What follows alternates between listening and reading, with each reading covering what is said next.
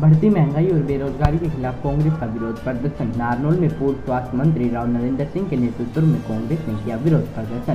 कांग्रेस ने आज पूरे देश में केंद्र सरकार के खिलाफ बढ़ती महँगाई और बेरोजगारी को लेकर विरोध प्रदर्शन किया है। वहीं नारनौल में पूर्व स्वास्थ्य मंत्री राव नरेंद्र सिंह के नेतृत्व में कांग्रेस कार्यकर्ताओं ने पीडब्ल्यूडी रेस्ट हाउस से विरोध प्रदर्शन करते हुए महावीर चौक में लघु सचिवालय पहुँचे और वहाँ पहुंचकर कार्यकर्ताओं के साथ अपनी गिरफ्तारी की। पूर्व स्वास्थ्य मंत्री राव नरेंद्र सिंह ने कहा कि आज देश में बढ़ती महँगाई और बेरोजगारी से आमजन परेशान है। केंद्र और केंद्र सरकार की नीतियों में आमजन दुखी नज़र आ रहे हैं, जिसको लेकर कांग्रेस ने आज देशव्यापी विरोध प्रदर्शन किया है।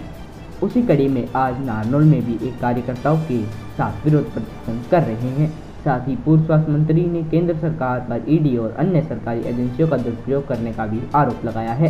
देखिए, आज अखिल भारतीय कांग्रेस कमेटी के निर्देश अनुसार सभी जिला मुख्यालयों पर कांग्रेस पार्टी की तरफ़ से, उनके सभी कार्यकर्ताओं की तरफ़ से आज ये देश में बढ़ती हुई महँगाई, देश में बढ़ती हुई जो है आपका बेरोजगारी और